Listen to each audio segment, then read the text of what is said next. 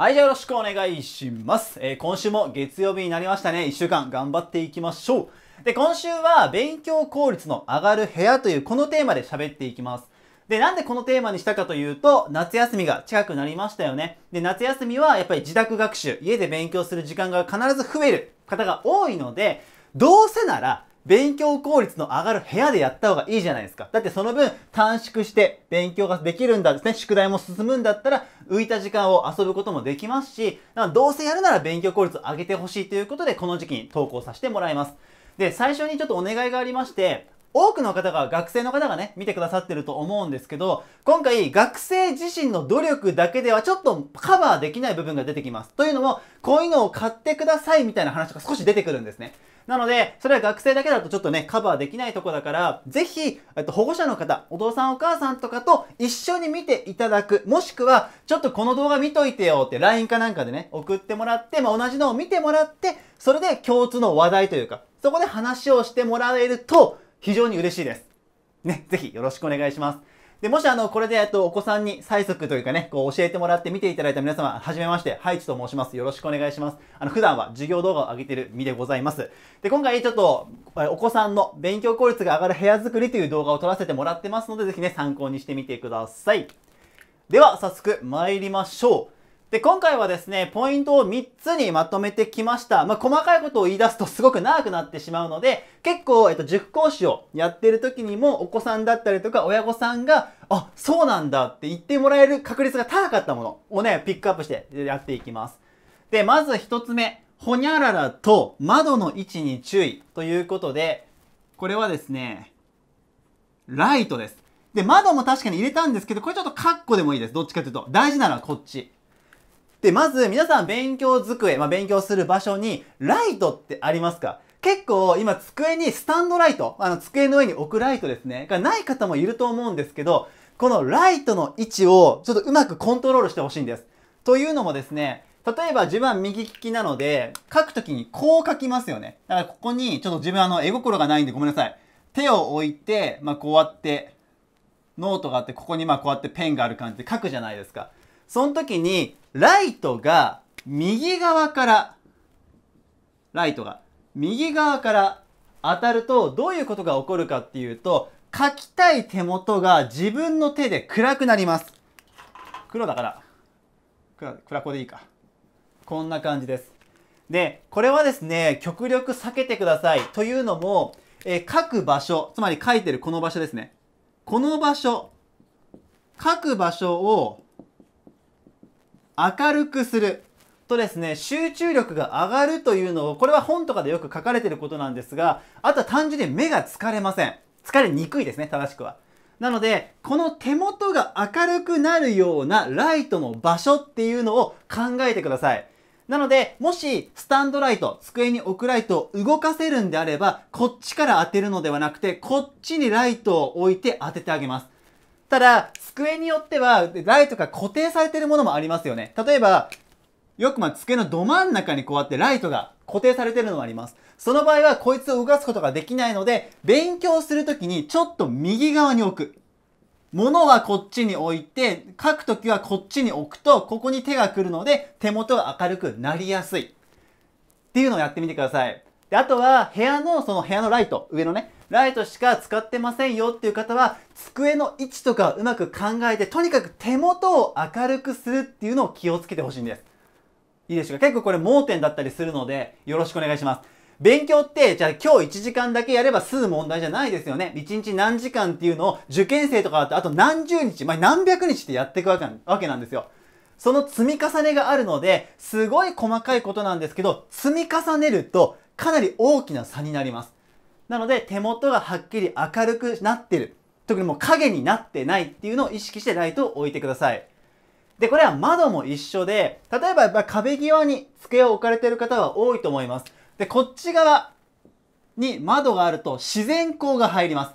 で、普段は学校ある日って勉強するのが夜なんですよ。だから自然光が関係ないんですけど、夏休み、長期休み中っていうのは昼に勉強することも増えるので、自然光の影響を受けやすくなります。普段は考えなくていいとこなんですけど、なので、自然光も、これも含めてですね、手元が明るくなるかどうかっていうのを大事にしてください。まあ、机を動かすっていうのはなかなかね、こう重労働というか部屋によっては難しいこともあると思うんですが、まあ、ライトとか窓の位置をうまくコントロールして手元を明るくするっていうのを意識してやってみてください。ただですね、あの自然光に関しては自然光が苦手っていう方も結構いらっしゃいます。そういう方は無理にね、自然光を入れなきゃいけないんではなくて、普段はもう昼間でもカーテンを閉めて、このスタンドライト、ライトだけでやってもらっても全然構わないです。自然光は結構好みが分かれるので、そこは無理しなくていいんですけど、まあ、手元を明るくっていうのをぜひ意識してもらえたらと思います。で、これはだからライトを買ってもらわなきゃいけないっていう話も出てくるので、ここはぜひ親御さんと相談してください。で、2番、まあ、3番はまたちょっと親御さんの力を借りなきゃいけないんですけど、2番は、え学生のみんな、みんな自身の問題です。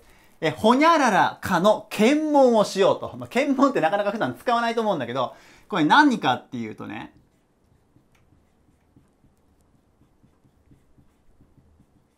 気が散るかの検問をしようと書きました。えー、ぜひですね、皆さん、えー、一回こう動画止めてもらっても構わないので、みんなが普段勉強してる勉強机、い？勉強机の前に立ってください。何があります？勉強机の周りに、机の上でもいいです。これまで一応机をイメージして書いたんですけど、例えば、まあ壁がこうね、前に壁がある方もいるでしょう。で、机の上にもしかしたら参考書とかね、プリントとかブラーってなってる方もいるかもしれない。ここに参考書がいっぱい置いてあったりとかね、わーってなってたり、壁にいろんなものが貼ってあったりするかもしれないんですけど、今、例えば勉強するとした時に、そのもの、置いてあるものが気が散るんだったら、とにかく撤去します。まあ、目に見えないところ、目につかないところに移動させてください。で、自分がよく言うのは2つあります。例えばさ、まあ、漫画とか置いてない方がいいのはイメージわかるでしょ？ここにスイッチさ、ニンテンドスイッチ置いてたらゲームしたくなるだろうなってわかるから置かないじゃん。だからそれはいいと思うんだけど、よく言うのが、たまにね、壁とかにさ、じゃあ好きなアイドルのポスターが貼ってあ、ポスター、まあね、貼ってあったりとか、まあ好きなアニメのキャラクターが貼ってあったりする。で、これをね、あることによって、よし、あの人のライブ行くために頑張るぞみたいなモチベーションになってることってあるじゃんか。で、それはいいんだよ。いいんだけれど、何が言いたいかっていうと、勉強してる時に、不意に目が入、目に入りますよね。目に入った時に、あ、DVD 見たいみたいな。これを見ることによって、DVD が見たいみたいな。これ思った瞬間に集中切れてるからね、一瞬。だから気が散ってんだよ。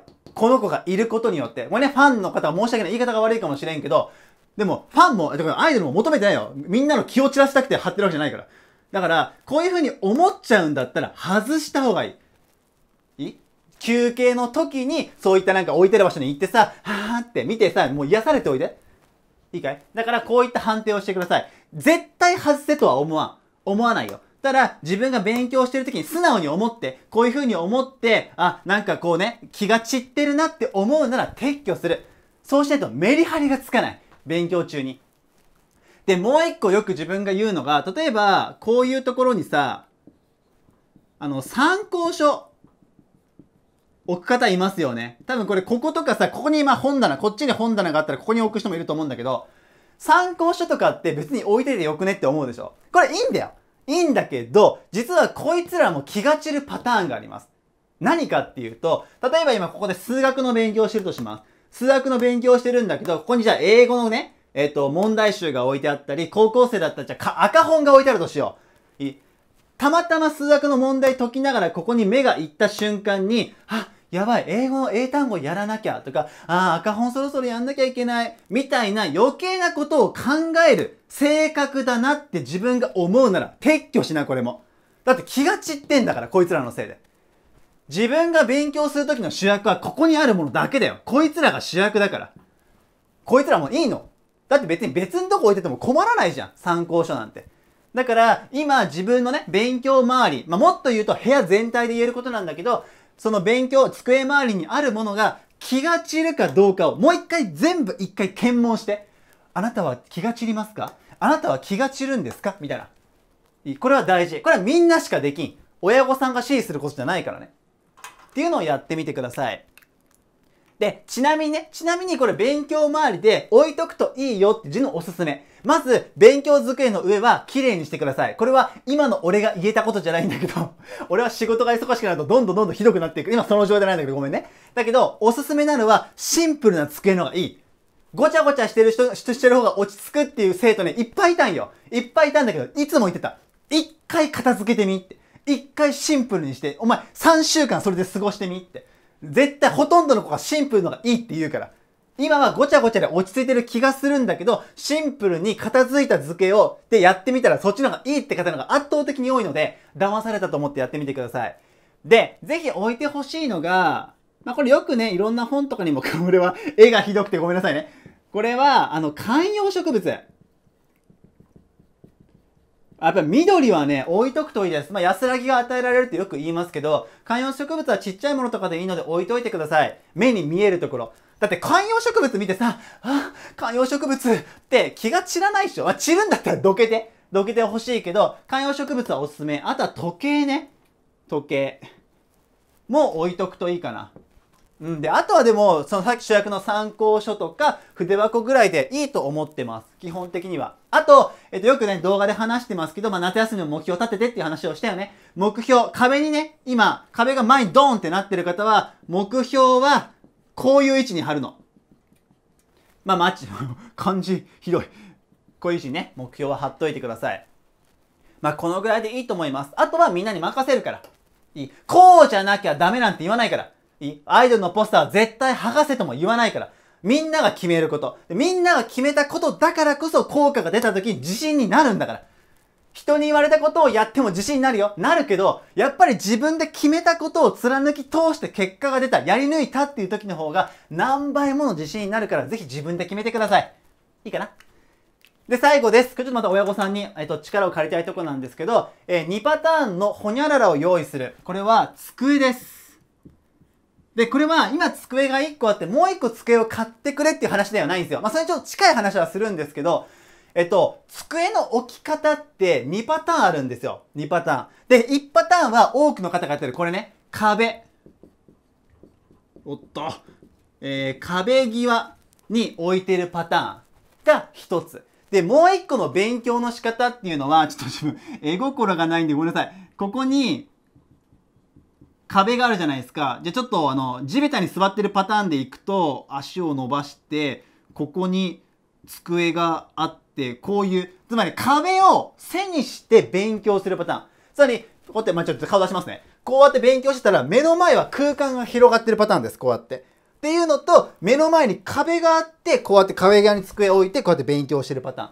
多分多くの方が壁際にこう机でやってると思うんですよ。で、それでもいいんですけど、これ2パターン持ってた方がいいんですね。実は。例えば、高校生とかだったら、またファミレスとかカフェで勉強したことあると思う、ね、いると思うんですけど、カフェで勉強するときって基本的に前多分広がってるんですよ。でも前で広がってるのが気が散るなって思う時もあれば、それがなんかしっくりくる時もあるはずなんですね。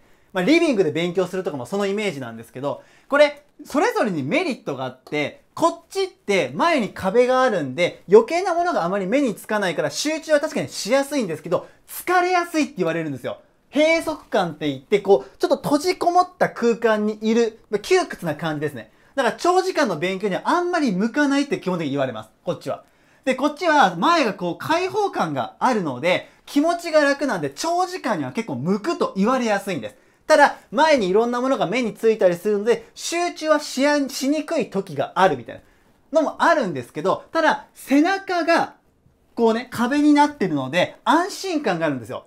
背中が、こう何かあるかもってあるの不安になることありません？あの、電車で待って並んでる時に後ろに人が立ってるとちょっとなんかゾワゾワするって分かる方いるかもしれないんですけど、あんな感じです。背中が空いてる空間、空間が空いていると、ちょっと落ち着かないっていうこともあるので、この2パターン両方使えるといいんですね。だから、普段こっちで机をセッティングしてる時に、もう1個机買えないし、部屋に置けないじゃないですか。だから、ちっちゃい机とかでいいんですよ。あの、よくなんかニトリとかで売ってるも1000円ぐらいのでもいいんですけど、地べたに座って、もうちょっとちっちゃい机をこうね、折りたたみ式のを置いて、今日は壁にね、こう、自分が背中をつけて机を置いてやってみようみたいな。これ実際自分がやるので仕事中もこれ。で、これはおすすめです。だから両方選択肢を持っておくといい。そうすると、家での勉強時間が長くなると、いつも全く同じっていうのが、なんかちょっと気分切り替えたいって時が出てきます。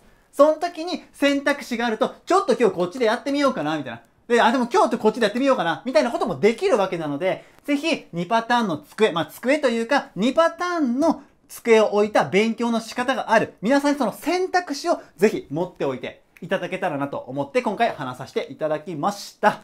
はい、ということで、だって話してきましたが、まああの、まあまあ、すでにね、知ってるよって方もいるかもしれないんですけど、夏休み入る前に、ぜひね、一回もう一回これやっていただいて、夏休み入った時に、こう、よし頑張るぞこの40日間みたいな風にね、なっていただけたら嬉しく思います。